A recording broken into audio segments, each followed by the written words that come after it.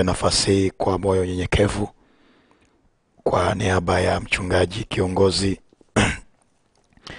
wa ushirika huu Dr. Eliona Kimaro kukukaribisha mahali popote ulipo unapotutazama ndani ya nchi hii na nje ya nchi.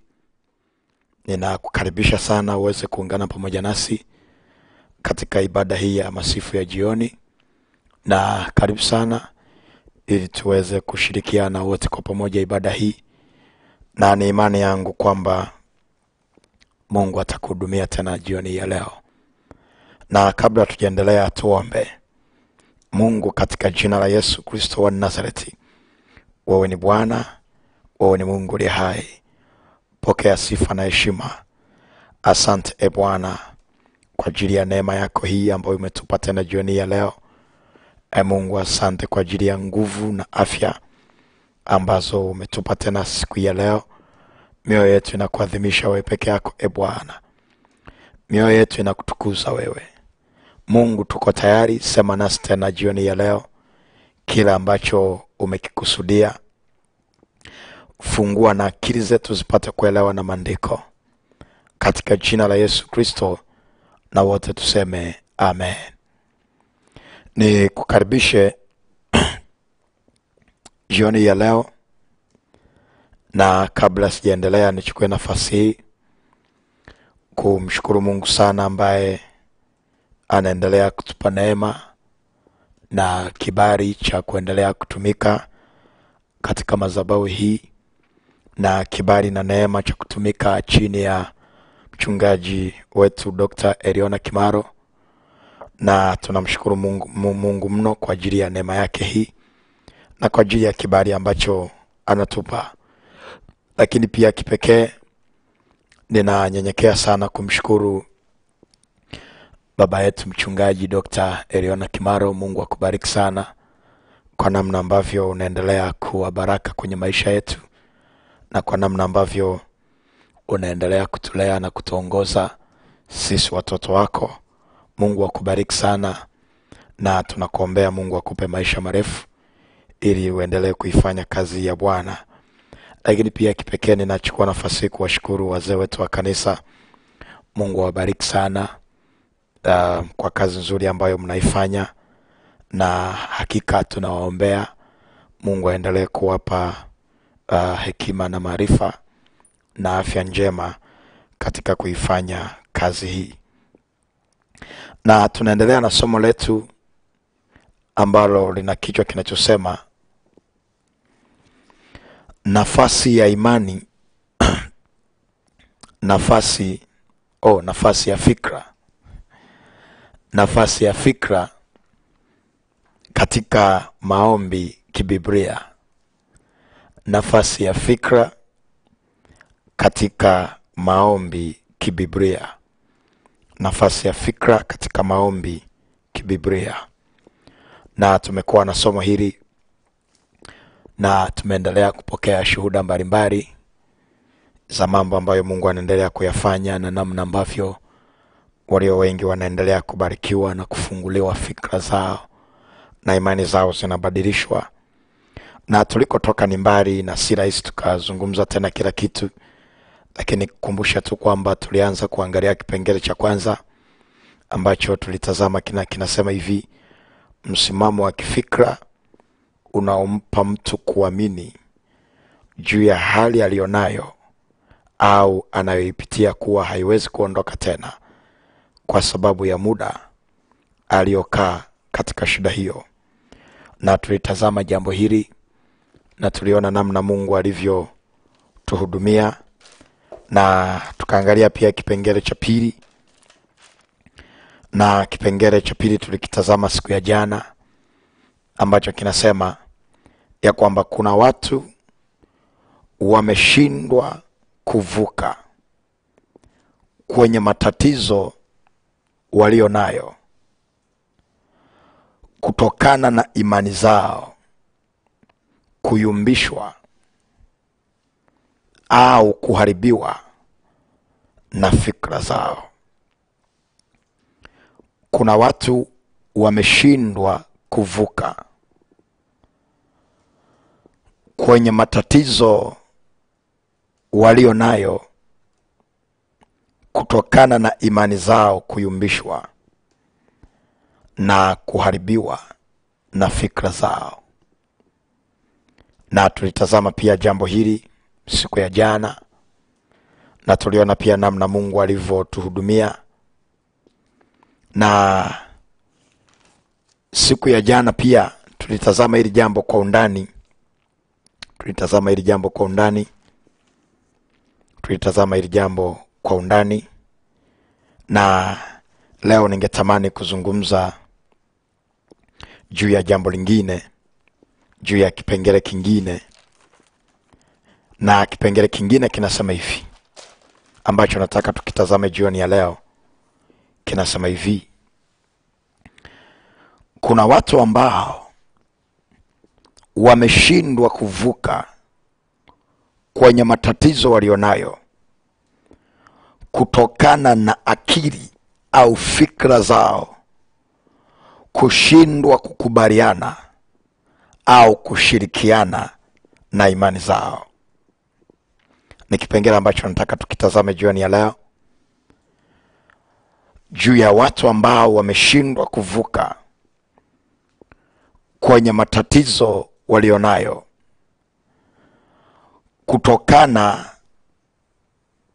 na akili au fikra akili au fikra zao kushindwa kukubaliana au kushirikiana na imani zao. Manake fikra au akili zinashindwa kukubaliana au kushirikiana na imani yako. Wako watu ambao fikra zao au akili zao zimeshindwa kushirikiana na imani zao ili kuwaletea matokeo ya yale ambayo wanayaomba. Na ni kipengele ambacho unahitaji kunisikiliza vizuri? Unahitaji kunisikiliza vizuri jioni ya leo? Na pale mwishoni tutakuwa pia na maombi maalum ambayo nina uhakika mungu atakutembelea fungua pamoja nami kitabu cha warumi sura ya kumi na nne na ule mstari wa ishiri na mbili na waebrania sura ya nne mstari wa pili na wa nne. Tuanze na warumi kumi na nne ishiri na mbili. Warumi kumi na nne ishirini na mbili anasema hivi. Ile imani ulionayo ile imani ulionayo uwe nayo nafsini mwako mbele za mungu nataka uone huu mstari. Anasema ile imani ulio nayo uwe nayo nafsini mwako mbele za mungu. Heri mtu yule asiyejihukumu nafsi yake katika neno lile analo analolikubali. Heri mtu yule asiyejihukumu nafsini mwake au asiyejihukumu nafsi yake katika neno lile analo likubali. bwana yesu asifiwe.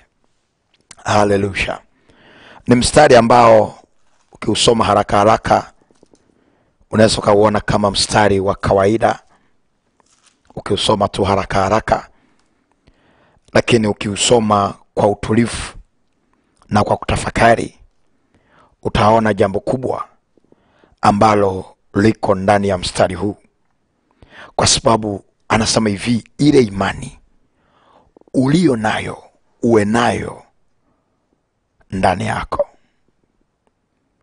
Anasema ile imani ulio nayo uwe nayo nafsini mwako. Ile imani ulio nayo uwe nayo nafsini mwako.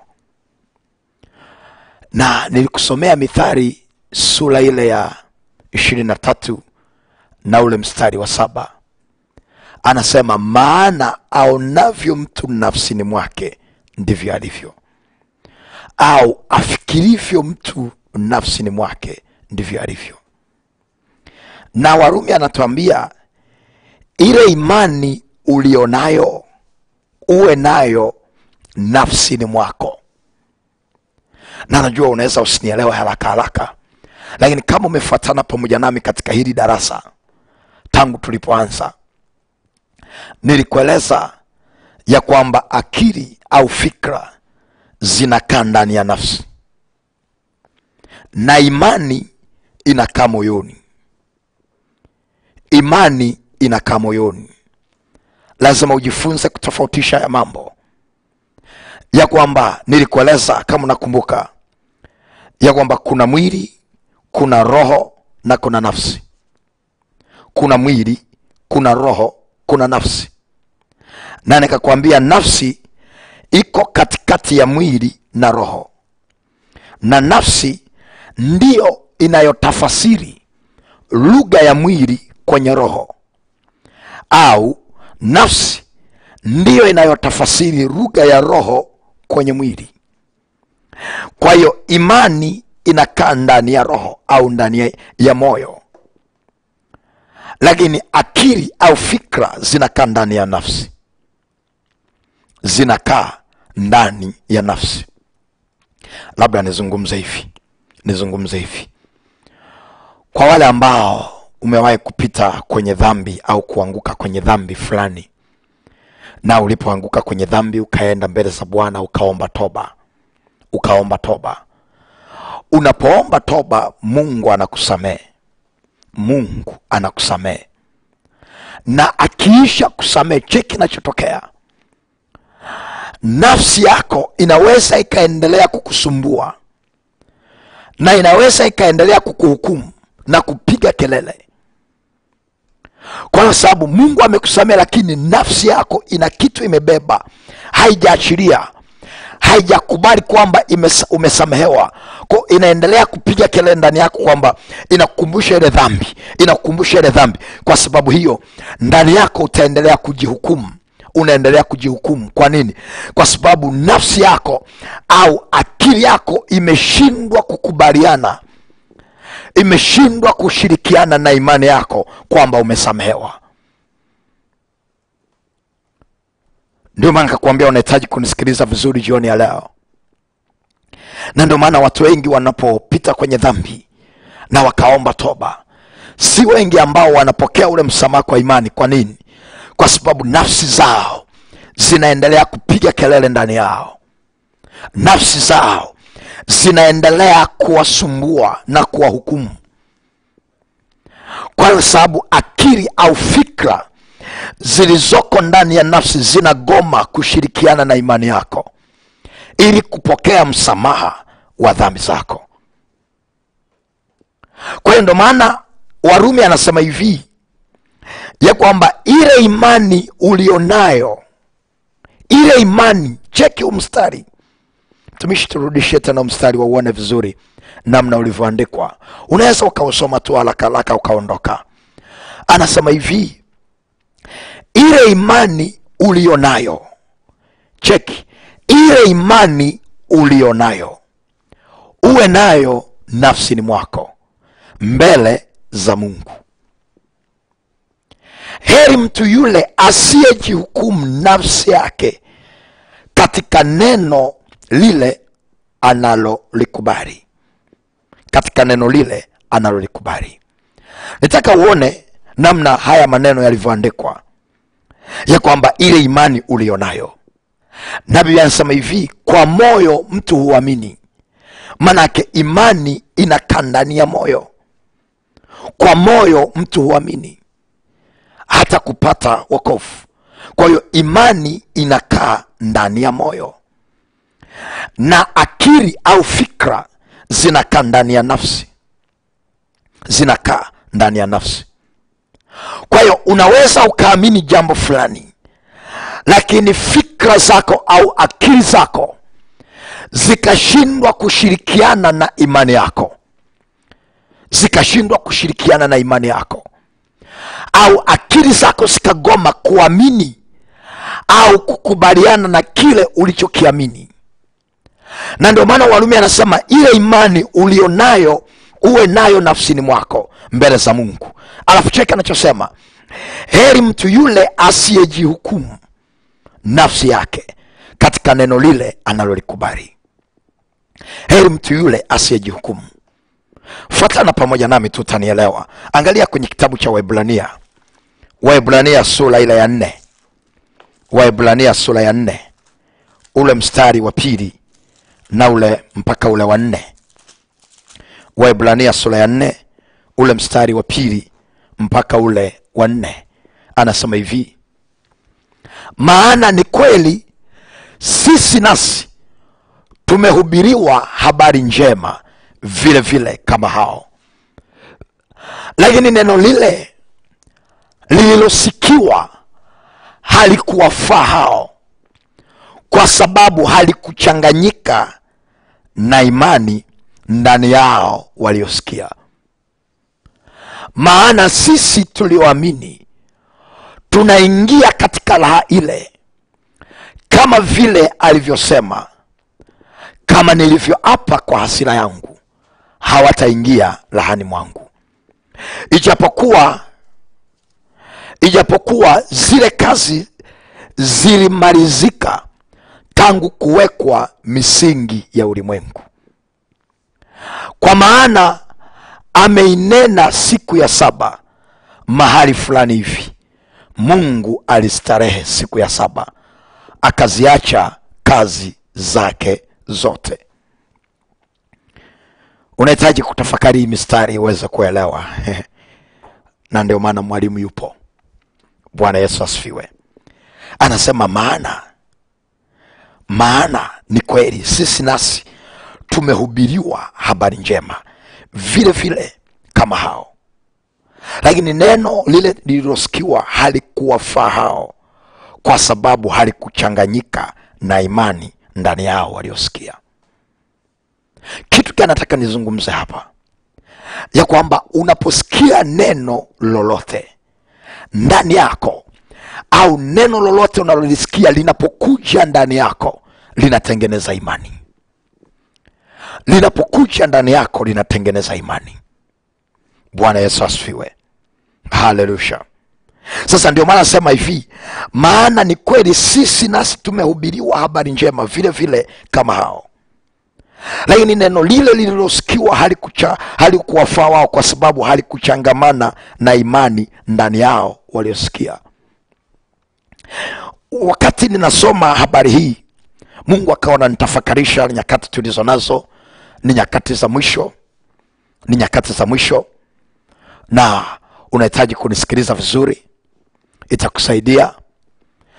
Na akawa ananitafakarisha ya kwamba kwa mfano najua tunaosikiliza hili neno tuko wengi tunalosikia hili neno tuko wengi kabisa. Na saa hii unapolisikia linatengeneza imani ndani yako linatengeneza imani ndani yako. Na imani ni uhakika wa mambo ya tarajiwayo ni bayana ya mambo yasiyoonekana. Kwa hiyo kama unaumwa ukasikia neno linalohusu uponyaji imani ya kupona inatengenezeka ndani yako. Kama una shida kwenye uchumi unaposikia neno linapokuja ndani ya moyo wako linatengeneza imani. Linatengeneza imani. Na hiyo imani unayoipokea inakupa uhakika wa kuvuka kwenye changamoto. Sasa cheki. Cheki. Umewahi kujiuliza umewahi kujiuliza kwa nini nyakati tulizo nazo ili mtu aweze kuamini kwamba ameombewa na atavuka sasa kwenye changamoto aliyokuwa nayo. Umewa kujiuliza kwa nini mtu anataka labda apewe maji au apewe kitambaa cha upako au apakwe mafuta? Ndio aamini kwamba sasa angalau atavuka kwenye changamoto. Umewa kujiuliza hilo jambo? Wakati mungu ananifundisha mungu akaniambia usijaribu kuwalaumu hawa watu kwa sababu kuna kitu hawajakifahamu. Na sio kwamba hawana imani imani wanayo ndani ya mioyo yao lakini akili zao zinagoma. Akili zao zinagoma. Na ili akili iweze kushirikiana na imani angalau akili ipewe kitu ambacho itakiona physically. Ipewe kitu ambacho itakiona physically. Kwa mfano eh, mtumishi wa bwana hebu njoo mwalimu anafundisha kwa mifano. Mtumishi wa bwana njoo. Angalia mfano huu utakusaidia. Kwa mfano labda huyu ndugu ni mfano tu kwamba uh, ana shida labda kwenye maisha yake. Sasa amekuja nimemhubiria njiri kaambia mungu atafanya mungu atafanya mungu atafanya. Ninapomhubiria hilo neno imani inajengeka ndani yake. Bwana yesu asifiwe. Imani inajengeka. Lakini kumbuka amekuja ana matatizo ana changamoto. Kuna mazingira ambayo anayapitia kwa kiingereza tungesema kuna mazingira physical mazingira yanayoonekana. Na imani ni kitu ambacho kiko moyoni. Imani ni kitu ambacho kiko moyoni. Kwa hiyo amekuja ana msiba wake ambao unaonekana kwa macho ya kawaida. Kwa hiyo alipokuja mimi nimemhubiria neno. Na lile neno limeenda moyoni limetengeneza imani sasa hiyo imani ili iweze kuzaa matokeo inatakiwa ishirikiane na akili zake au fikra zake. Sasa angalia fikra zake au akili zake zinatazama mazingira aliyo nayo kibinadamu mazingira yanayoonekana. Bwana yesu asifiwe. Kwa hiyo ile imani inapotafuta kushirikiana na akili zake inakuta akili au fikra zinatazama mazingira yaliyopo. Kwa hiyo ili akili au fikra ziweze kushirikiana na imani lazima nimpe kitu ambacho atakiona physically. Oh, sijui kama unanielewa una- nachozungumza. Kwa hiyo kwa mfano labda hii ni leso ya upako. Kwao nimemwombea nimemhubiria neno ili akili sasa ziweze kuelewa kwamba kuna kitu tumepokea.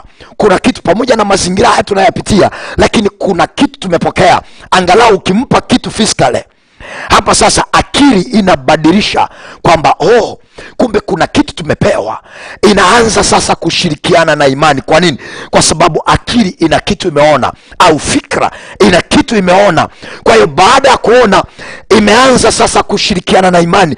Ndio maana tuna watu ambao ili waamini kwamba wameombewa au wamepokea kitu mpaka wapewe labda mafuta ya upako au chumvi ya, chumvi ya upako au labda akanyagwe kanyagwe au apigwe vibao apigwe vibao namna hii. Oh, huyo aumii bwana yesu asifiwe. Si- sijui kama tunaenda pamoja kwa sababu tunataka kuona akiri inataka kuona. Akili inataka kuona. Imani yenyewe inaposikia neno moyo unaposikia neno unatengeneza kitu kinachoita kinachoita imani. Lakini akili yako mpaka imeona au mpaka imeshika. Bwana yesu asifiwe. Haleluya si kama kuna mtu ananielewa hebu sema amen kama mmenielewa. Sema amen kama mmenielewa. Kwa mfano saa nyingine mtu anakuja anakuambia embo embo tunaomba maji pale chukua tu maji pale tuwaoneshe kwa mfano hapa. Tuwaoneshe kwa mfano. Kwa mfano mtu anakuja sisemi kwamba ni vibaya kuna saa mtakatifu anaweza akakuelekeza kwamba ombea maji au saa ingine ombea chumvi. Roho mtakatifu anaweza akakuelekeza. Lakini tume, tume, tumefika mahali mambo haya tumefanya kama fomula kwa sababu akili zetu zinataka kuona. Kwa mfano amekuja ana shida ya tumbo ana maumivu kwenye tumbo nikamhubiria injili kwamba yesu anaponya yesu anaponya. Na baada ya kumhubiria injili imani kajengeka kwamba anaweza akapona. Sasa angalia nikabandika mkono kwenye tumbo lake kwamba katika jina pokea uponyaji. Katika jina huwa mzima. Pokea kwa jina ninapoomba namna hiyo imani imeamini lakini akili fikra ili ziamini mpaka zipewe kitu. Bwana yesu asifiwe. Sasa angalia nikiombea haya maji nikasema nabadilisha haya maji yawe ni maji ya upako naachilia nguvu za mungu ndani ya maji haya katika jina nikamwambia chukua utumie tumbo litapona. Umeona anavyopokea? Na na- anapokea kwa, kwa shukrani. Kwa nini? Kwa sababu imani imeshaamini lakini imani ili matokeo yaweze kutokea lazima ishirikiane na fikra. Sasa fikra ili zikubaliane na imani lazima zipewe kitu ambacho kinaonekana bwana yesu asifiwe. Sasa umeona nilivyompa maji kwa mfano nimekupa maji embo yapokee sasa. Umeona anavyoyapokea kwa nini? Kwa sababu akili sasa zimehusishwa fikra zimehusishwa. Kwa unaona na ile response namna anavyopokea. Bwana yesu asifiwe. Naamini sasa ameshaelewa. Mungu akubariki sana mtumishi wa bwana. Mungu akubariki sana. Bwana yesu asifiwe. Haleluya sasa nataka nizungumze na wewe kwa mtiririko ufuatao ili uweze kunielewa na tutatazama kama mungu akitupa nafasi mambo mawili. Jambo la kwanza jambo la kwanza jambo la kwanza ni hili. Mtu anaweza kusoma neno. Mtu anaweza kusoma neno na lile neno likajenga imani ndani yake lakini akili yake ikagoma au ikakataa kushirikiana na imani yake hili ni jambo la kwanza. Ya kwamba mtu anaweza kusoma neno na lile neno likajengeka likajenga imani ndani yake. Lakini akili yake ikagoma ikakataa kushirikiana na imani yake. Nenda kwenye kitabu cha warumi sura ya kumi ule mstari wa kumi. Warumi kumi ule mstari wa kumi. Warumi kumi mstari wa kumi anasema hivi kwa maana kwa moyo mtu huamini hata kupata haki. Na kwa kinywa hukiri hata kupata wokovu. Bwana yesu asifiwe. Anasema kwa moyo mtu huamini hata kupata haki. Na kwa kinywa hukiri hata kupata wokovu. Maanake ni kwamba ukishaamini moyoni unapata haki lakini ili upate wokovu lazima uanze kukiri kile ulichokiamini. Sasa kama akili zako au fikra zako kama hazitashirikiana na imani yako uwe na uhakika hutapata wokovu. Na haimaanishi kwamba imani huna. Imani unayo lakini fikra zako hazijashirikiana na imani yako. Kwa mfano ngoja nikuonyeshe tena mfano huu watumishi wa kamera mtanisamee tu leo nataka nitumie vitendo. Kuna watu bila kuona hawa, hawaelewi. Mtumishi hemu njoo na kiti chako hapa tuwaoneshe mfano. Njoo na kiti chako hapa. Nataka tuwaoneshe mifano leo muweze kuelewa. Kwa mfano angalia huyu mtu. Kaa tu hapa kaa tu hapa. Labda huyu mtu amekuja ni mfano tu. Amekuja labda ana shida ya ulemavu au ana shida ya miguu ana miaka ya kutosha ni mfano. Nataka uelewe hapa anachozungumza labda ana miaka ya kutosha hajawahi kutembea. Miguu yake ina shida. Kwa hiyo amekuja kabla sijamwombea nimeanza kutengeneza imani ndani yake. Biblia anasema hivi kwa moyo mtu huamini hata kupata haki. Maana yake anapoamini kwa moyo ana haki ya kuponywa lakini ili aweze kupokea uponyaji lazima akiri lazima akiri kila alichokiamini kila ambacho kimejengeka ndani ya moyo wake. Haijarishi mazingira aliyonayo ni kweli hatembei ni kweli ana, ana ulemavu lakini ameshaamini ile tu kwamba ameamini ameshapata haki ya kuponywa. Lakini ili aweze kuponywa lazima akiri kwa kinywa chake sasa hawezi kukiri uponyaji wakati mazingira yaliyopo ni kwamba yeye ni mlemavu na ana miaka ya kutosha hajawahi kutembea. Bwana yesu asifiwe. Sasa angalia mfano huu. Amekuja nimemhubiria na nimeomba nikaomba nikaomba. Katika jina Yesu mungu ninaomba mponye achilia uponyaji apate kutembea kwa jina la yesu kristo. Nikasema amen. Sasa angalia nimeshamwombea nimeshamhubiria. Sasa namwambia embu simama. Bwana yesu asifiwe. Ah, sasa angalia. Usiende haraka haraka najua wewe unaelewa. Bwana yesu asifiwe. Sasa tuwashimu kwamba tuko kwenye mazingira halisi. Ni mtu hajawahi kutembea. Umemwombea tu very very simple. Umemhubiria neno imani imejengeka ndani yake ukamwombea. Yaani umemwombea maombi ya kawaida kabisa. Alafu unamwambia nyenyuka. Uwe na uhakika atakwambia mtumishi siwezi kutembea. Atakwambia siwezi kutembea. Si kama unanielewa anachofundisha. Sio kwamba mungu hajafanya lakini imani yake inagoma kushirikiana na fikra zake. Inakataa kushirikiana na akili zake. Ili aamini kwamba mungu ameshamponya. Na biblia asema imani bila matendo imekufa. Kwa hiyo baada ya kumwombea lazima imani aliyoipokea ishirikiane na fikra zake. Aamini kwamba ameshapokea uponyaji. Kwa hiyo baada ya kuombewa lazima aingie katika matendo. Alikuwa hawezi kuinuka inuka katika jina la yesu. Alikuwa hawezi kutembea anza kutembea katika jina la yesu. Bwana yesu asifiwe. Hembo rudi tena hapa. Najua unaanza kunielewa nachofundisha unaanza kunielewa. Sasa kaa hapa.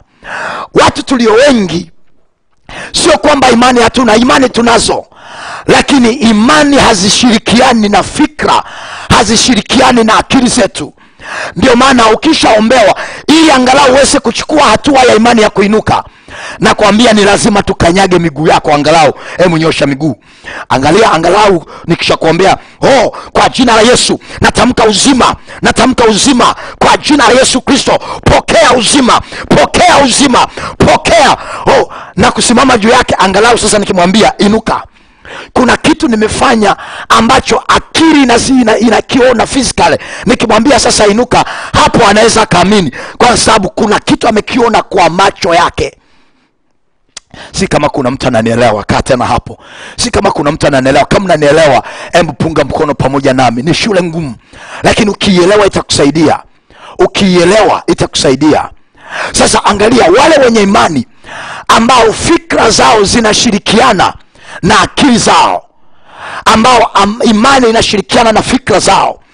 Ukishamwombea kwa mfano amekuja atembei akakutana na mtumishi ukamtengenezea imani ukamwombea hata utumii nguvu. In the mighty name of jesus i command the miracle to happen now. In jesus name be healed. Amen. Stand up. You see? Kwa sababu imani inashirikiana na akili zake hazihitaji akili zake au fikra hazihitaji mpaka aombewe kwa mbwembwe au apewe physical material.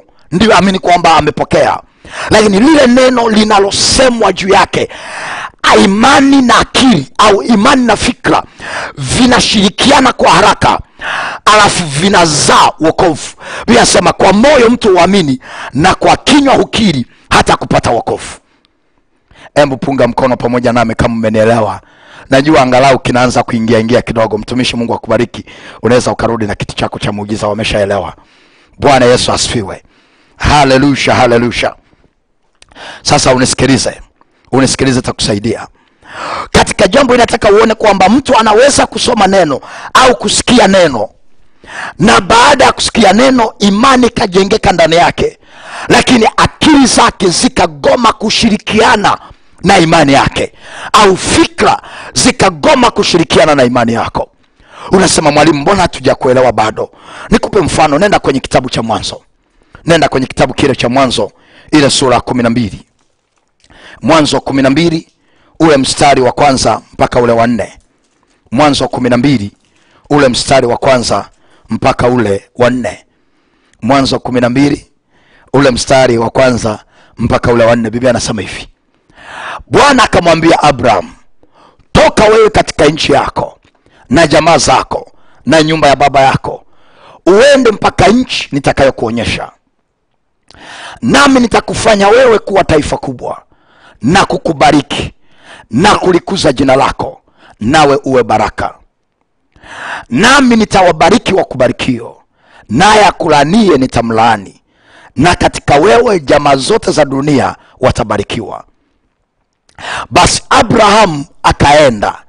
Abrahamu akaenda kama bwana alivyomwamuru. Lutu akaenda pamoja naye. Naye abrahamu alikuwa ni mtu wa miaka sabini na mitano. Alipotoka haran alikuwa ni mtu wa miaka sabini. Alipotoka haran. Bwana yesu asifiwe. Nichotaka nikuonyeshe hapa kabla sijakupeleka ndani kidogo ni namna ambavyo ibrahimu alisikia neno au alipewa neno. Na neno alilopewa aliambiwa ibrahimu toka wewe uende mpaka nchi nitakayokuonyesha nami nitakufanya kuwa taifa kubwa. Lakini si tu taifa kubwa nitakubariki na kulikuza jina lako. Alipopewa hili neno biblia anasema ibrahimu akaenda. Maanake ile kwamba alienda aliliamini lile neno alilopewa na wasomaji wa biblia wanafahamu ya kwamba ibrahimu alipoambiwa toka wewe alikuwa na miaka sabini na tano. Na tayari alikuwa kwenye ndoa. Na kama alikuwa kwenye ndoa na miaka sabini na tano uwe na uhakika kati ya hitaji alilokuwa nalo ilikuwa ni kupata mtoto. Kwa usiku na mchana alikuwa anaomba mungu nikumbuke nipate mtoto. Nikumbuke nipate mtoto sasa mungu alipompelekea neno akamwambia ibrahim toka wewe. Na katika neno ambalo nina uhakika lilimsukuma ibrahim kutoka ni alipoambiwa nitakufanya kuwa taifa kubwa. Alipoambiwa taifa kubwa nina uhakika ndani yake alielewa kwamba atabarikiwa atapewa watoto. Manake alijua kwamba hitaji lake la kupata mtoto litajibiwa. Kwa ndo maana lile neno alilolisikia lilijengeka imani ndani yake na ile imani ikampa hatua akaanza kwenda. Bwana yesu asifiwe. Haleluya. Na alikuwa na miaka sabini na tano sijui kasahau usije ukasahau. Lakini ni nikuonyeshe ni kwamba ibrahimu huyu huyu ambaye alipewa neno akaridaka imani ikajengeka akatoka akaenda. Alifika mahari akili zake zikashindwa kushirikiana na imani yake alifika mahali akachoka akili na imani vikashindwa kushirikiana pamoja. Unasema mwalimu mbona tukuelewi nenda kwenye mwanzo kumi na tano. Mwanzo kumi na tano. Ule mstari wa kwanza mpaka ule wa sita utanielewa tu? Unasikiliza tu vizuri utanielewa? Mahali napotaka kukupeleka. Mwanzo kumi na tano ule mstari wa kwanza mpaka ule wa sita nasema hivi. Baada ya mambo hayo neno la bwana likamjia abrahamu katika njozi likinena usiogope abraham mimi ni ngao yako na thawabu yako kubwa sana. Abraham akasema e bwana mungu cheki sasa. Akili zake zilipoanza kugoma fikra zake zilipoanza kugoma cheki anasema abraham akasema e bwana mungu utanipa nini? Nami naenda zangu hali sina mtoto. Utanipa nini? Naenda zangu hali sina mtoto. Na atakaye miliki nyumba yangu ni huyu eliazari mdameski abraham akasema tazama hukunipa uzao. Na mtu aliyezaliwa nyumbani mwangu ndiye mrithi wangu. Neno la bwana likamjia likinena huyu hata kurithi bali atakayetoka katika viuno vyako ndiye atakaye kurithi akamleta nje tazama akasema tazama sasa mbinguni. Kazihesabu nyota kama ukiweza kuzihesabu. Akamwambia ndivyo utakavyokuwa uzao wako. Akamwambia bwana biblia anasema mstari wa sita akamwamini bwana naye akamhesabia jambo hili kuwa haki. Bwana yesu asifiwe. Unisikilize takusaidia nichotaka uone ni kwamba nichotaka uone ni kwamba akili za Ibrahimu zilifika mahali zikagoma zikagoma kabisa. Ni kweli waliambiwa wakiwa na miaka sabini na tano ya kwamba toka wewe na mungu akawambia nitakupa mtoto. Saa hiyo lile neno lilipoingia ndani yake. Imani ilijengeka na imani ikashirikiana na akili. Ndio maana ibrahimu akatoka akaanza kwenda. Lakini wamesubiri na kusubiri. Ile ahadi waliopewa haitokei. Akili zikaanza kupiga kelele. Akili zikaanza kugoma. Na zilipoanza kugoma biblia anasema ibrahimu na sara wakamtafuta eliazari wakafika mahali wakatafuta mbadala. Kwa nini? Kwa sababu akili zao zimegoma zimegoma zimefika mahali zinapiga kelele. Imani wanayo lakini akili zao zimegoma. Kwa hiyo wakamtafuta eliazari. Kwa hiyo na mungu anamtokea anamwambia baada ya mambo hayo neno la bwana likamjia abraham katika njia usilikinena usiogope abraham mimi ni ngao yako na thawabu yako kubwa. Abraham akasema e bwana mungu e bwana mungu utanipa nini hali nami naenda sina mtoto. Sina mtoto. Wewe unaniambia nisiogope sina mtoto. Kilichokuwa kinazungumza ni akili za ibrahimu akili za ibrahimu zilifika mahali zikayatazama yale mazingira. Zikashindwa kushirikiana na imani yake. Zikashindwa kushirikiana na imani yake. Bwana yesu asifiwe. Haleluya haleluya haleluya haleluya si kama kuna mtu ananielewa kitu ambacho mungu anatufundisha. Na ndio maana ukienda kwenye mstari mwanzo kumi na saba ule mstari wa kwanza mwanzo kumi na saba ule mstari wa kwanza anasema hivi. Abraham alipokuwa mtu wa miaka tisini na kenda bwana akamtokea abrahamu akamwambia mimi ni mungu mwenyezi uende mbele yangu ukawe mkamilifu.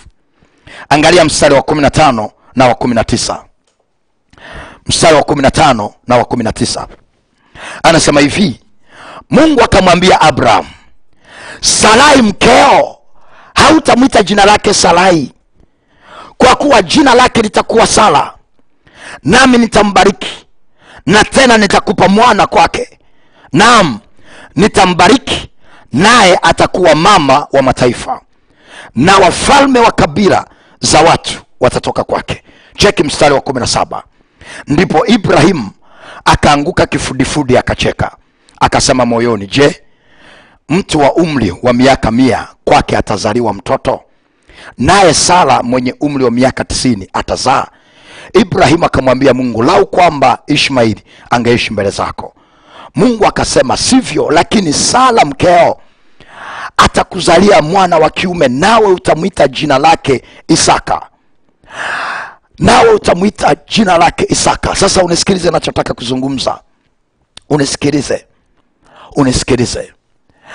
Hawa watu walipewa neno la hadi kwenye mwanzo kumi na mbili. Imani ikajengeka na fikra zikashirikiana na akili wakatoka. Walivyotoka wamesubiri imeshindikana. Akili zikaanza kupiga kelele ya kwamba mtasubiri mpaka lini mtaendelea kuamini mpaka lini? Mbona hicho mnachokiamini hakitokei? Mbona huyo mnayemwamini hafanyi? Akili ndizo zinazoanza kupiga kelele. Imani wanayo lakini akili au fikra zikaanza kupiga kelele. Sasa zilipoanza kupiga kelele wakatafuta mbadala ambaye ni ishmaili lakini pamoja na kwamba wamemtafuta ishmaeli mungu akasema nilichosema nimesema nitafanya. Kwenye mwanzo kumi na saba mungu anatokea anaanza kumwambia ibrahim ya kwamba ibrahim kuanzia leo usimwite tena salai salai mwite sala mwite sala. Kwa nini? Kwa sababu atakuzalia mwana hataitwa tena tasa ataitwa mama wa mataifa. Ibrahimu alipopewa neno la namna hiyo akili zake imani anayokumbuka lakini akili ziligoma. Ndio maana kilichotokea alicheka alicheka na akasema awapo mkongwe ataweza kweli kuzaa. Manake akili zake ziligoma. Imani anayo lakini akili fikra zimegoma. Na ndio maana kuna watu wananisikiliza leo. Inawezekana kabisa unapita mahali pagumu. Na mungu anakuambia badilisha jina usijiite tena maskini jiite tajiri. Lakini akili zako zinagoma kwa sababu ya mazingira unayoyapitia. Ya kwamba hivi mwalimu anajua kweli madeni niliyonayo anajua namna navyosumbuliwa hivi kweli anajua? Sio swala la unajua ni swala la mungu kukuvusha hapo. Na mungu anachotafuta ni imani na imani ishirikiane na fikra zako. Na vikishashirikiana uwe na uhakika utavuka. Vikishashirikiana uwe na uhakika yale mambo ambayo umekuwa ukiyaomba kwa muda mrefu lazima yatajibiwa. Lakini inawezekana hayajajibiwa kwa sababu imani unayo lakini fikra zako zimegoma kuamini kile ambacho mungu anakusemesha fikra zako zimegoma kupokea lile neno ambalo bwana anakupa. Na ndio maana wako wagonjwa wengi sana unaweza ukawatamkia ya kwamba pokea uponyaji lakini akaendelea kuangalia mazingira ya ugonjwa alionao akili zikaanza kupiga kelele ya kwamba he nimepona kweli mbona bado niko vile vile? Mbona bado niko vile vile? Huu ugonjwa nimekaa nao miaka mingi. Sio swala la umekaa nao miaka mingi ni swala la neno la bwana ambalo mungu anakupa leo. Na mimi naongea na wewe inawezekana umekaa hapo kwa muda mrefu. Oh ninaziombea akili zako. Zipate kushirikiana na imani yako. Ili kwamba uweze kupokea muujiza wako katika yale mambo ambayo umeyasubiri kwa muda mrefu. Ninaombea akili zako na fikra zako zishirikiane na imani yako. Oh, ili muujiza uweze kutokea. Bwana yesu asifiwe. Si kama kuna mtu ananielewa hapa kitu nachozungumza jioni ya leo hebu sema amen kama nanielewa okay nizungumze namna hii. Mungu ameenda kwa ibrahimu amempa neno la kinabii. Na kumwambia ibrahimu ni kweli mke wako ni mzee? Ni mzee ni sawa. Ni kweli ni tasa ni sawa. Lakini ibrahimu change your mindset. Kwa moyo mtu uamini hata kupata haki. Na kwa kinywa hukiri hata kupata wokovu bwana yesu asifiwe. Kwa hiyo mungu anakuja kwa ibrahimu. Ya kwamba Ibrahimu, ni kweli mke wako ni tasa lakini anza kukiri kwamba mke wako sio tasa. Mke wako ni mama wa mataifa. Na wala usimwite tena salai mwite sala maana ni mama wa mataifa. Oh, si, unaanza sasa kunielewa. Unaanza kunielewa. Ngoja nizungumze tena taratibu hivi. Nizungumze taratibu hivi. Bwana yesu asifiwe mke wa, wa ibrahim alikuwa anaitwa salai. Na salai alikuwa tasa. Na amekaa mpaka uzee. Ni tasa. Na ibrahim alikuwa na imani ya kupata mtoto. Lakini alifika mahali imani yake ikaanza kushindwa kushirikiana na akili. Kwa sababu akili au fikra zilitazama mazingira ya nje. Zilitazama umri zikaanza kupiga kelele kwamba ibrahimu umeshazeeka bwana umeshazeeka. Sasa katika mazingira namna hiyo mungu alikuja akaanza kupambana na akili za ibrahimu. Kwamba ibrahimu ni kweli mke wako ni tasa. Sasa anza kukiri. Anza kukiri kwamba mke wako sio tasa. Na kuanzia leo usimwite tena jina salai mwite sala. Mwite sala. Mwite sala kwa nini kwa sababu ni mama wa mataifa. Ibrahimu alipoambiwa namna hiyo biblia asema akaanguka kifudifudi akacheka. Akacheka. Kwa nini alicheka? Akiri fikra zilishindwa kushirikiana na imani. Akiri ziliangalia mazingira. Na mungu anapozungumza haangalii mazingira ulionayo. Mungu anapoongea haangalii mazingira yako anachokiangalia ni imani yako. Ndio maana ukienda kwenye kitabu cha mwanzo nenda kwenye kitabu cha mwanzo sura kumi na saba. Mwanzo sura ya kumi na saba. Ule mstari wa tisa mpaka wa kumi na nne. Mwanzo kumi na saba. Ule mstari wa, wa, wa tisa mpaka wa kumi na nne. Biblia anasema hivi mungu akamwambia ibrahimu nawe ulishike agano langu wewe na uzao wako kwa vizazi vyao baada yako. Hili ndilo agano langu utakalolishika kati ya mimi na wewe na uzao wako. Na mungu akaanza kumpa maelekezo pale. Ukisoma ule mstari wa kumi na nne mungu anaendelea kumpa maelekezo. Anampa maelekezo ibrahimu bwana yesu asifiwe. Anampa maelekezo. Sasa ukiendelea kusoma huu mstari ukiendelea kusoma hii habari unaona kule mbele mungu akimwambia kwamba ibrahimu kuanzia leo usimwite mke wako sarai mwite sala lakini pia ukienda kwenye mwanzo kumi na nane ukienda kwenye mwanzo kumi na nane ule mstari wa tisa mwanzo kumi na nane ule mstari wa tisa mpaka wa kumi na nne hebu tusome hapo uone hii habari. Mwanzo kumi na nane mstari wa tisa mpaka ule wa kumi na nne. Mwanzo kumi na nane ule mstari wa tisa mpaka wa kumi na nne. Biblia hivi wakamwambia yu wapi sala mkeo akasema yumo hemani. Cheki. Akamwambia hakika nitakurudia wakati huu huu mwakani. Na tazama sala mkeo atapata mwana wa kiume. Sasa cheki. Sala akasikia mlangoni pa hema iliyokuwa nyuma yake. Basi ibrahimu na sara cheki walikuwa wazee na umri wao mkubwa na sara alikuwa amekoma katika desturi ya wanawake kwa hiyo sara akacheka moyoni mwake akasema niwapo mkongwe nitapata faraja na bwana wangu mzee. Bwana akamwambia ibrahimu mbona sara amecheka akisema mimi kweli nitazaa mwana nami ni mzee? Kuna neno gani cheki sasa kuna neno gani lililo gumu la kumshinda bwana? Kwa muhula wake nitakurudia wakati huu mwakani na sara atapata mwana wa kiume. Bwana yesu asifiwe kwa hiyo mungu alikuwa anapambana na akili zao. Ya kwamba mimi nikishasema ninaangalia imani siangalie mazingira. Kwa saa ibrahimu alipoambiwa kwamba kuanzia leo usimwite mke wako tena sarai mwite sala maana ni mama wa mataifa. Ibrahimu alicheka na alipoambiwa hizo habari oh, akili zake ziligoma. Na ndio maana hakwenda kabisa kumwambia mke wake. Na ibrahimu alifikiri mungu anatania akarudi tena. Malaika akarudi akamwambia tena ibrahimu na saa ibrahimu anaambiwa sara alisikia. Na sara naye aliposikia bibi anasema alicheka. Kwa nini? Kwa sababu akili zao zinagoma. Zinagoma kushirikiana na imani. Na ndio maana sara anasema niwapo mkongwe nitapata furaha na bwana wangu mzee. Manake akili zao ziligoma. Na ndio maana mstari wa kumi na nne bwana anawaambia ni neno gani lisilowezekana kwa bwana? Kwa muhula wake atakurudia. Na mi nazungumza na mtu hapa inawezekana imani unayo lakini akili zako zimegoma kabisa. Akili zako zimegoma. Imani unayo ya kuvuka hapo lakini akili zako zinapiga kelele. Oh imani unayo ya kuinuliwa lakini akili zako zinapiga kelele. Oh imani ya kupona unayo lakini fikra zako zinagoma. Imani ya kupokea unayo lakini fikra zako zinakutazamisha mazingira ulio nayo. Oh ninaziombea fikra zako ninaombea akili yako ipate kupona na ipate kupokea kile ambacho bwana anataka ukipokee jioni ya leo.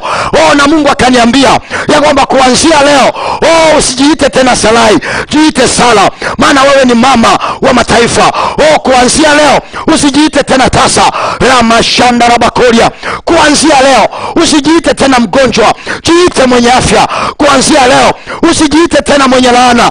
Jiite mbarikiwa. Wale wanaonielewa hapa wangemshangilia bwana.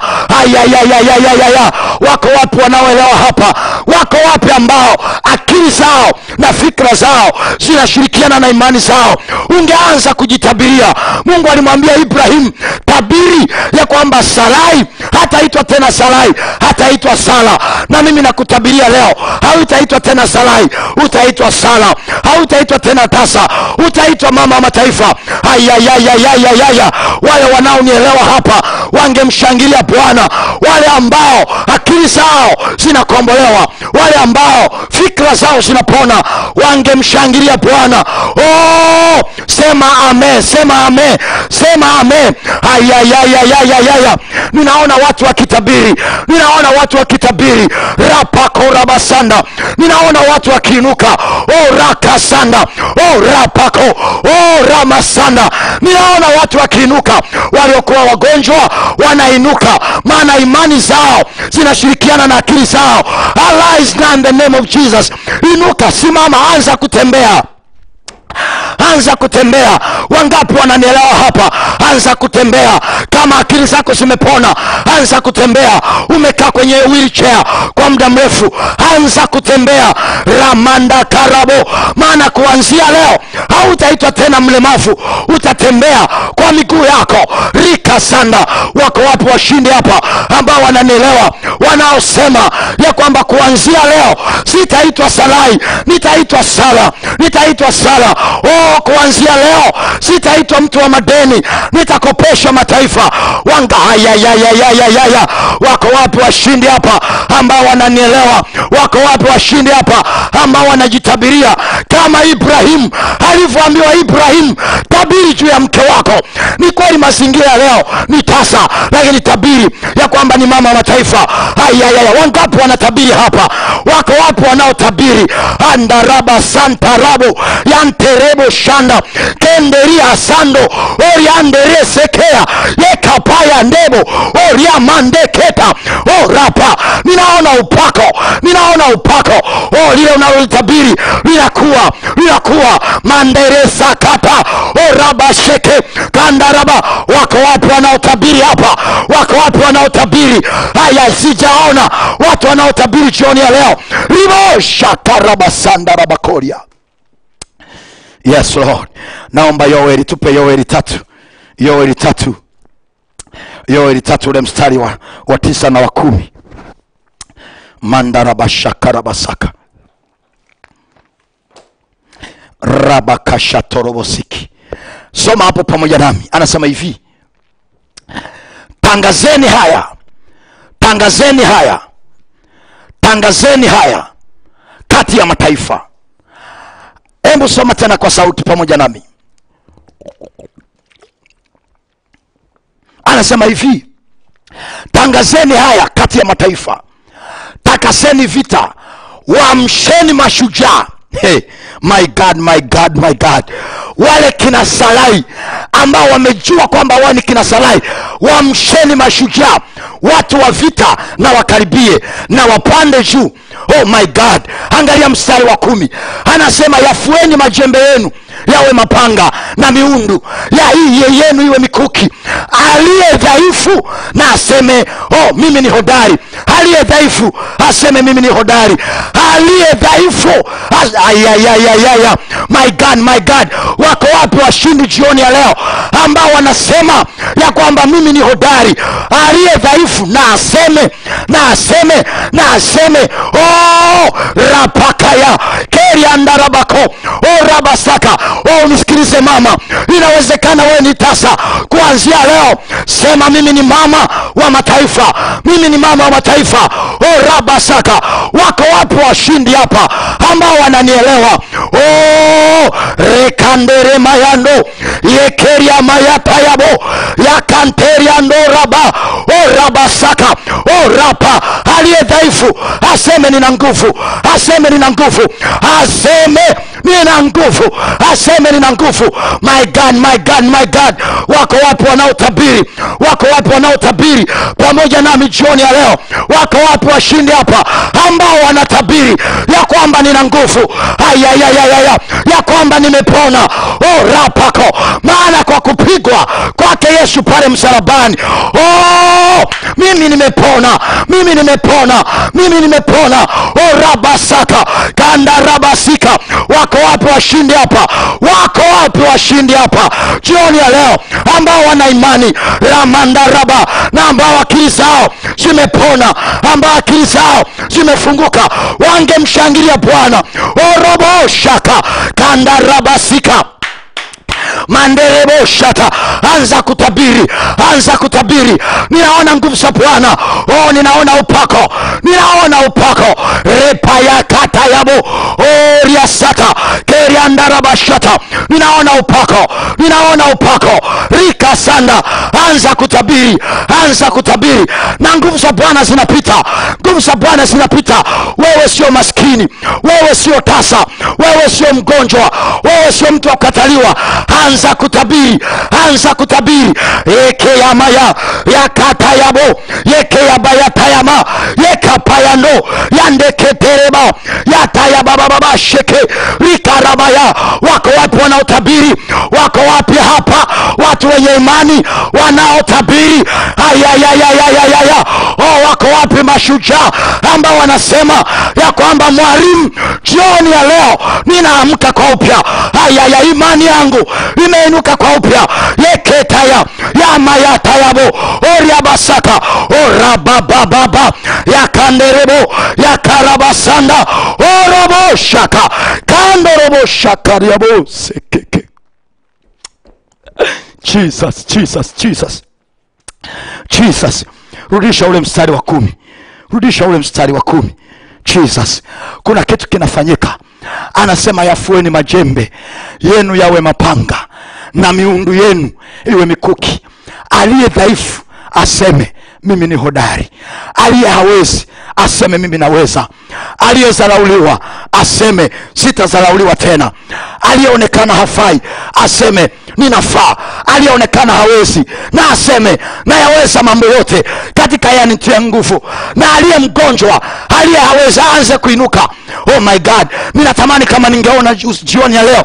Ninatamani kama ningeona watu wanavyoinuka watu wanavyoinuka. Oh, huko kitandani wanisikia aliye mgonjwa aseme nimepona. Aseme nimepona. Aseme nimepona. Oh my god. Oh, kwa imani ninaona. Kwa imani ninaona. Ninaona.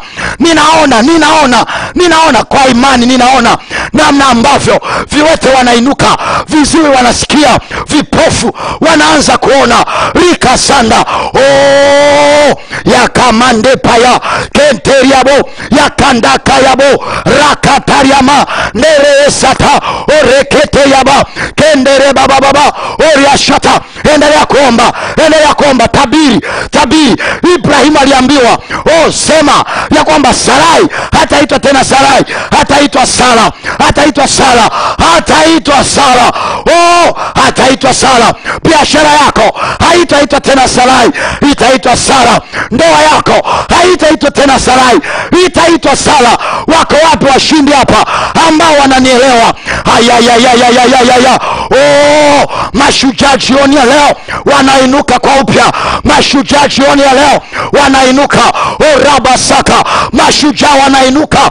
Oriasata wale mashujaa wa kifamilia wanainuka jioni ya leo. Oriabashanda oraboshakanaboseke jesus. Jesus jesus. Jesus jesus jesus my god my god my god. My lord. Kuna nguvu za mungu ziko hapa.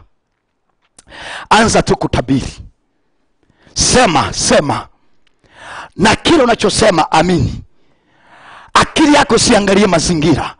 Amini kwamba kinakuwa amini kwamba kinatokea. Mandarabashakarabasaka. Rapakorabashikiriandarabasako kandarabashakorobosaka mungu anamwambia ibrahimu nina uhakika nina kabisa mungu angekuwa ni mwanadamu kwa namna ambavyo ibrahimu akili zake zilikuwa zimegoma angekuwa mwanadamu angemshtua kwa kibao.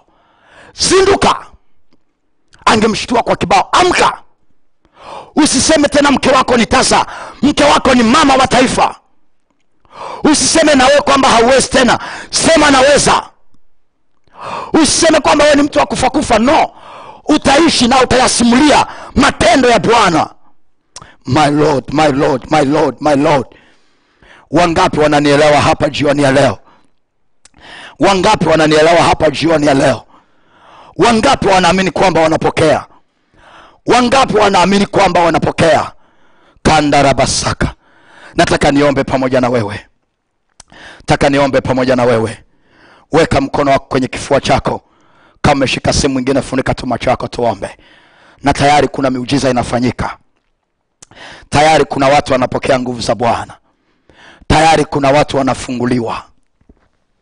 Tayari kuna watu wanafunguliwa. Wale walio na imani. Mungu katika jina la yesu. Angalia e bwana kile ambacho watoto wako wamekitamka mungu kikawe sawa sawa na walivyosema. Ninawaombea e bwana imani zikashirikiana na akili zao. Nanyunyiza damu yesu kwenye akili zao na kwenye fikra zao zipate kupona na kufunguka na zipate kushirikiana na imani zao ili e bwana ukapate kuwatoa katika matatizo. Katika jina la yesu kristo na watu wote tuseme amen. Na ikiwa kuna kitu mungu amefanya tuandikie ushuhuda wako ili tumtukuze mungu pamoja na wewe. Na mungu wangu akubariki nimkaribishe mtumishi wa bwana. Karibu ombee sadaka naweze kumaliza ibada siku ya leo. Karibu. Asante sana mwalimu emilian katubayemo tunamshukuru mungu sana kwa ajili yako kwa vile ambavyo bwana amekutumia katika masifu haya ya jioni. Lakini wewe ambaye umesikiliza ibada hii na uko pamoja na sisi live sasa hebu naomba uandae sadaka yako natamani uandae sadaka yako ambayo utataka kumweleza mungu kwamba abadilishe jina ambalo uko nalo sasa. Kutoka sarai na kwenda sara. Kutoka yakobo na kwenda kuitwa taifa la israeli. Andaa sadaka yako ukimsihi mungu kwa undani kabisa ukimlilia mungu abadilishe jina lako. Mungu abadilishe ufahamu wako ili uweze kuendelea mbele. Tuombe. Baba katika jina la yesu kristo wa nazareti hai mungu bwana wa majeshi mwenye nguvu na uweza wa ajabu tunakutukuza na kulisifu jina lako e bwana. Pokea sifa heshima na utukufu maana wewe ni mwezo wa yote e bwana. Lakini tazama watoto wako tunasogelea kiti chako cha enzi e bwana kwa ujasiri tukiomba rehema na neema kwenye maisha yetu e bwana. Baba tazama tumekuja e bwana mikononi mwetu tukishika dhabihu e bwana na sadaka hizi tukikusihi e bwana na ubadilishe majina yetu. Jehova kwa nguvu na uweza wako wa roho mtakatifu Baba, badilisha majina yetu kutoka katika hali ya udhaifu na kwenda kuwa hodari katika hali ya kuwa na ugonjwa kwenda kuwa wazima e bwana katika hali ya kuchoka na kwenda kuwa na nguvu katika hali ya kukata tamaa na kwenda kuwa na tumaini. E mungu na ubadilisha e bwana hata ile aibu ambayo watoto wako jehova wanakwenda kuonekana kwenye maisha yao. Mungu tunaifuta kwa damu ya yesu kristo wa nazareti ule hai. Tunaondoa kila roho ambazo zisimamazo kwenye maisha yake e bwana zililetazo uharibifu e bwana na nguvu yoyote kila wakati anasumbuliwa. Jehova na machozi amekuwa ndio e bwana kila siku akilia. Mungu na iachilie damu yako tangu sasa ambayo e bwana ni sadaka ambayo uliitoa pale msalabani kwa ajili ya maisha yake naye anakujia kwenye madhabahu yako. Mungu na iunganisha hii sadaka ya jioni ya leo ambayo anakusihi ubadilishe ufahamu wake ubadilishe hii akili e bwana ubadilishe hii nafsi na mwenendo wa maisha yake na ubadilishe hili jina ambalo anaonekana na taswira na historia iliyoko kwenye maisha yake. Kwa damu ya yesu kristo wa nazareti ule hai. Na iunganisha na madhabahu yako ya kimbingu. Tangu leo e bwana tangu leo kwa mamlaka ya yesu kristo wa nazareti ule hai tunavunja kila uharibifu kila madhabahu ambayo imesimama ikatoa sadaka ikafanya ibada kwa ajili ya maisha yake. Mungu na ukumbuke hizi sadaka kuanzia leo. Katika jina la yesu kristo wa nazareti ule hai tunabadilisha ile jina ambalo alikuwa anakwenda kuonekana na kuitwa kila siku kwamba ni masikini. E bwana kwamba yeye ni mdeni tunafuta jehova kwamba yeye ni mkopaji kuanzia leo hata kopa hata kwenda kukopesha kwa damu ya yesu kristo. Wa nazareti tule hai. Haya maroho yasimamayo kila siku e bwana ni wa kukopa. Tunafungia nje kwa jina la yesu kristo wa nazareti tule hai. Haya maroho ya umasikini e bwana tunayaondoa kwenye maisha yake. Jehova wewe ulifanyika kuwa masikini ili aweze kuwa tajiri kwa damu ya yesu kristo wa nazareti tule hai. Mungu bwana wa majeshi kila mizimu na uchawi kwenye maisha yao e bwana tunaharibu hizo madhabahu za familia zinazofuatilia maisha yao. Kwa damu ya yesu kristo wa nazareti ule hai. Mungu ninakutukuza na kulisifu jina lako. Sante kwa vile ambavyo bwana umekwenda kubadilisha maisha ya watoto wako jioni hii ya leo. Pokea sifa heshima na utukufu. Tangu sasa na hata milele e mungu tunaamini wewe uliye alfa na omega kwenye maisha yetu. Wewe ni mwanzo na mwisho e bwana. Mungu utasimama pamoja nasi. Kama ambavyo e bwana ulitembea na wana wa israeli usiku na mchana ndivyo ambavyo mungu utatembea na watoto wako hawa. Katika jina la yesu kristo wa nazareti ule hai amen. Huyo mungu ambaye aliweza kubadilisha jina la yakobo na akamwambia hutaitwa tena yakobo utaitwa israeli na kufanyika wako wa taifa ambalo mpaka leo tunalijua taifa la israeli. Acha mungu akabadilishe maisha yako kuanzia sasa. Pokea baraka za bwana. Bwana mungu akubariki na kukulinda. Bwana mungu akuangazie nuru za uso wake na kukufadhili. Bwana mungu akuinule uso wake na kukupa amani. Damu ya yesu ikunenee mema kinyume cha mabaya yote. Kwenye maisha yako unapoingia na kutoka tangu leo na hata milele.